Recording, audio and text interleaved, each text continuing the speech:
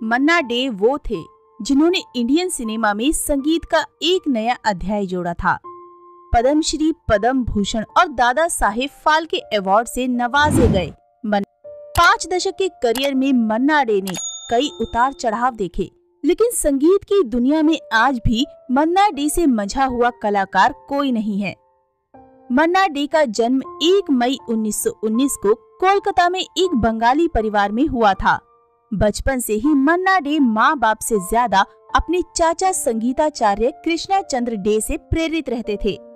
उनके चाचा शास्त्रीय संगीत में पारंगत थे और इसी वजह से मन्ना डे का भी झुकाव संगीत की तरफ़ बचपन से ही था। मन्ना डे के पिताजी का सपना था कि वो वकील बने, क्योंकि घर में डॉक्टर भी थे और इंजीनियर भी। मगर इधर मन्ना डे पहले से ही संगीत में पूरी तरह से रम चुके थे। कॉलेज के दिनों से ही मन्ना डे अपने दोस्तों के साथ क्लास के पीछे के बेंच पर बैठ जाते थे। फिर बेंच पे खूब ताल दे देकर गाते थे। इस बारे में जब कॉलेज के प्रिंसिपल को पता चला तो डांटने की बजाय उन्होंने उन लोगों को बहुत सपोर्ट किया। मन्ना डे के कोलकाता वाले घर पर संगीत के सारे महारथी आते थे। उनके चाचा उन्हें बुलाया करते थे। रात भर गाना बजाना हुआ करता था। उसी कमरे में उस्ताद साहब आते थे। यही वजह है कि बचपन से ही मन्ना डे को संगीत से लगाव था। एकमात्र जिस फ़िल्म को गांधी जी ने देखा, उसी फ़िल्म से बतौर सोलो सिंगर मन्ना डे ने की थी शुरुआत। मन्ना डे ने अपने चाचा और उस्ताद दबीर खान से संगीत की शिक्षा ली थी। 1942 में पढ़ाई पूरी करने के बाद मन्ना डे अपने चाचा के साथ मुंबई आ गए। संगीत की अच्छी समझ होने के कारण उन्होंने फ़िल्मों में असिस्टेंट म्यूज़िक डायरेक्टर के तौर पर काम करना शुरू किया। गायक के तौर पर मन्ना डे को सबसे बड़ा ब्रेक 1942 में रिलीज़ हुई फ़िल्म तमन्ना से मिला। इस फ़िल्म के गाने को मन्ना डे ने सुरैया के साथ मिलकर गाया था। गाने के बोल थे, जागो आई उषा, पहुँची बोले जागो। ये गाना उस समय का सबसे बड़ा हिट रहा। इसके बाद तो मन्ना डे की संगीत की गाड़ी चल पड़ी।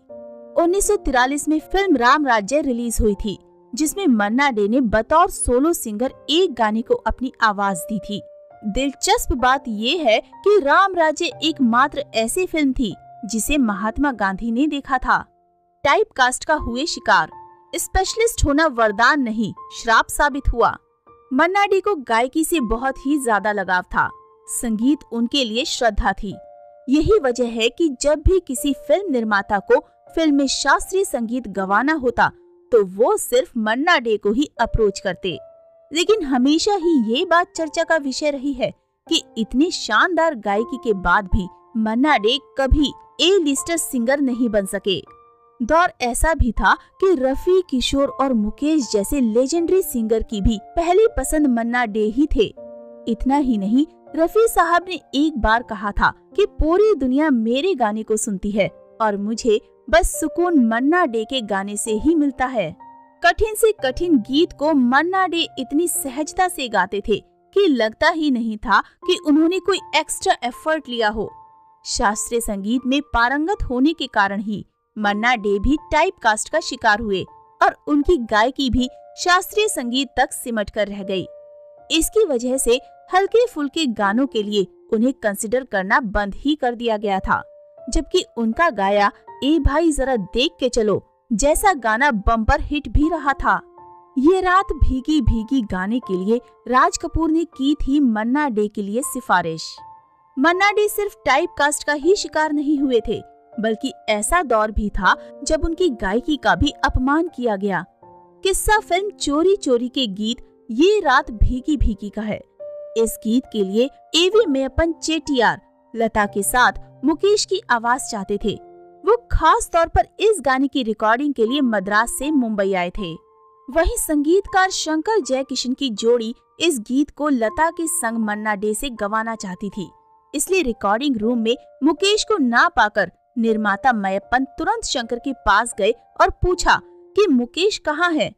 शंकर ने कहा कि इस गाने के लिए मन्ना डे परफेक्ट है, लेकिन वो नहीं माने तब राज कपूर ने निर्माता को समझाया। और कहा कि ये गाना मन्ना डे ही रिकॉर्ड करेंगे। गाने की रिकॉर्डिंग हुई और गाना सुनकर मयप्पन के मुँह से भी यही निकल पड़ा कि उन्हें गर्व होगा अगर ये गाना उनकी फ़िल्म से जुड़ेगा।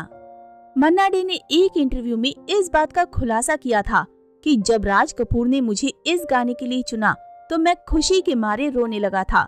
वो किसी दूसरे सिंगर की आवाज़ में ये गाना रिकॉर्ड करवा सकते थे, लेकिन इसके लिए उन्होंने सिर्फ़ मुझे चुना। किशोर कुमार के साथ गाने से जब मन्ना डे ने कर दिया इनकार। बात है उस दौर की, जब फ़िल्म पड़ोसन रिलीज़ हो गई थी। 1968 की इस फ़िल्म का एक गाना, एक चतुर नार बहुत फ़ेमस हुआ। इस गाने की आवाज़ दी थी मन्ना डे, किशोर कुमार और महमूद ने। शुरुआत में इस गाने के लिए मन्ना डे ने मना कर दिया था। वजह थी कि ये गाना किशोर कुमार और महमूद पर फिल्माया गया था। साथ ही इस गाने में बीच बीच में कुछ मजाकिया अंदाज वाले शब्द भी डाले गए थे, जिसे गाने के बीच में कहना था।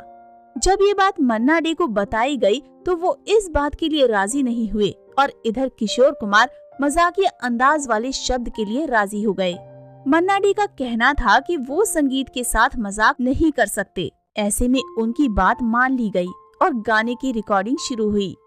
गाने की शुरुआत में तो सब कुछ मन्ना डे के मुताबिक ही हुआ लेकिन जब बाद में किशोर कुमार ने मजाकिया अंदाज वाला गाना शुरू किया तो मन्ना डे चुप हो गए। उन्होंने पूछा कि ये कौन सा राग है? इस पर महमूद ने उन्हें समझाया कि फ़िल्म में सीन के लिए ऐसा करना पड़ेगा। इसलिए किशोर दा ने इस तरीके से गाना गाया है।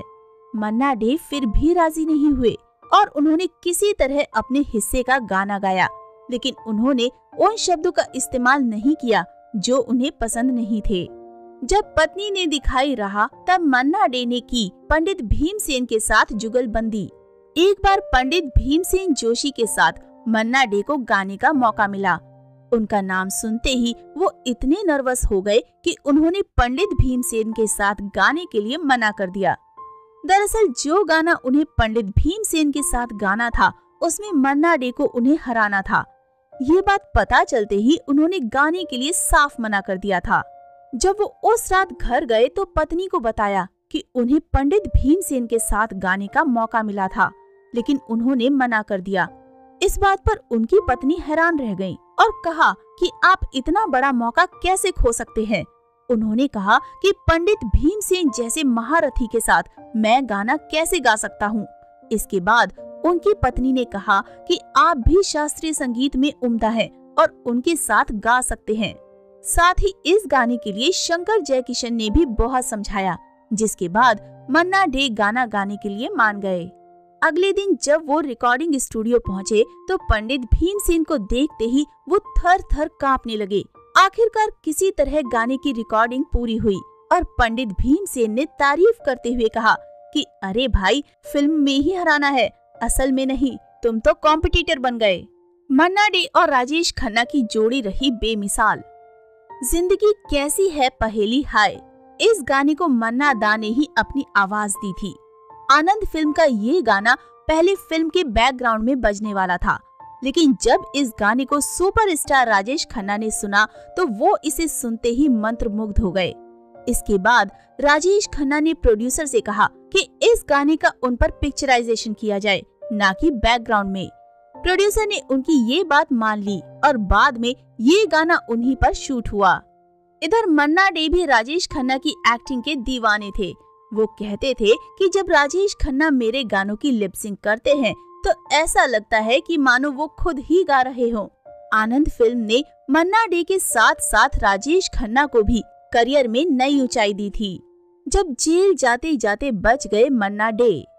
किस्सा है नवाबों के शहर लखनऊ का। लखनऊ के चार बाग स्टेशन पर एक संगीत समारोह का आयोजन होना था, जिसमें मन्ना डे टुन जैसी हस्तियाँ शामिल होने वाली थी। इस शो की जमकर टिकट भी बिके थे। जब एक तरफ़ वक्त आया आयोजन शुरू होने का तो वहीं दूसरी तरफ़ आयोजक ही रफू चक्कर हो गए। जब लोगों को ये बात पता चली तो वो इस बात से बहुत नाराज़ हो गए और मन्ना डे पर शिकायत दर्ज करा दी। साथ ही उन्हें जेल भेजे जाने की डिमांड भी की गई। हालाँकि कुछ समय बाद वो भागे हुए कार्यकर्ता पकड़ लिए गए और मन्ना डे को राहत मिली। नब्बे के दशक में संगीत को कहा अलविदा। सिंगिंग करियर में मन्ना डे ने कई भाषाओं में बेमिसाल गाने गाए हैं, लेकिन नब्बे के दशक में उन्होंने म्यूज़िक इंडस्ट्री से पूरी तरह दूरी बना ली थी। साल 1991 में आई फ़िल्म प्रहार के गाने हमारी मुट्ठी में गाने को उन्होंने अंतिम बार अपनी आवाज़ दी थी। तो दोस्तों, अभी के लिए बस इतना ही। मिलते हैं अगले वीडियो में। तब तक आप सब अपना ध्यान रखिए। Bye bye